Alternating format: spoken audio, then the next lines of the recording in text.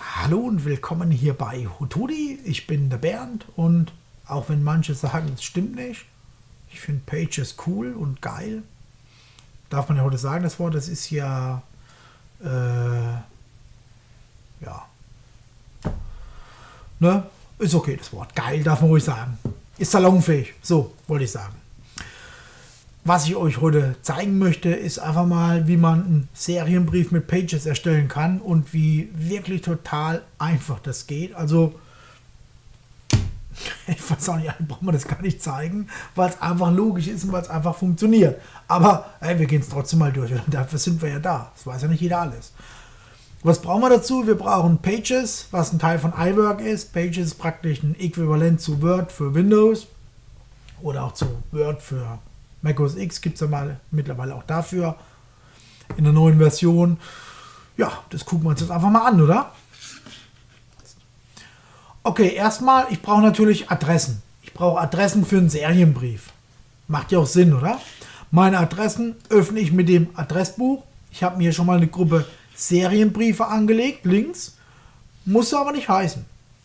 Kann so heißen, muss so nicht heißen. Könnt ihr euch selber aussuchen. Ich nenne es einfach mal Serienbriefe oder mh, hm, Hotodi rundschreiben. Ja, klingt cooler. Okay, Hotodi rundschreiben. Was brauche ich als nächstes? Ich brauche natürlich meine Adressen. Das heißt, ich könnte von meinen anderen Adressen einfach per Drag and Drop eine da reinziehen und verknüpfen. Wenn die dann alle hier drin stehen, die Adressen, ich habe jetzt mal ein paar angelegt per Hand, habe jetzt vier Adressen drin, den Bernd, den Bernd, den Hanno und den Silvio. Die vier sollen einen Brief von mir kriegen, können aber auch 200 Leute sein. So, natürlich brauchen wir auch noch unser Word-Programm, also unser Textverarbeitungsprogramm, in dem Fall Pages. Machen ein neues Dokument, einen Brief zum Beispiel. Ja, Schreibmaschine, ganz nett. Klicken wir an. Das ist unser Brief, das ist unsere Schreibmaschine und hier wollen wir jetzt den Serienbrief erstellen. Was müssen wir dafür tun? Wir öffnen wieder unser Adressbuch. Ich schiebe das mal alles ein bisschen rüber. So.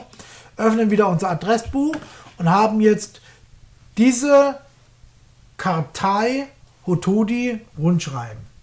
Und diese Kartei nehme ich jetzt einfach, ziehe die hier per Drag and Drop rein. Ihr seht, das wird jetzt grau an dieser Stelle. Klicke ich also an. Jetzt fragt er mich, was möchte ich machen? Ich möchte ein neues Dokument erzeugen. Ja. Oder ich möchte es direkt an den Drucker schicken. Nein, ich will es erstmal erzeugen. Und fehlende Daten durch nächstmögliche Treffer ersetzen. Zum Beispiel Privatanschrift durch Büroanschrift etc. Und jetzt klicke ich noch auf Serienbrief. Jetzt seht ihr da, meine Adresse ist hier drin. Hier oben ist meine erste Adresse, Bernd Kortz. Hat funktioniert. Scroll weiter runter. Der Bernd Wohleben. Hi Bernd. Hat auch funktioniert. Den Hanno habe ich auch hier drin. Und natürlich den Silvio. Ich habe also alle vier Briefe mit der Anrede. Hallo Bernd. Hallo Hanno. Hallo Silvio. Ihr habt gesehen, einfach per Drag and Drop hier reinziehen. Es spielt gar keine Rolle, wie viele Briefe das sind.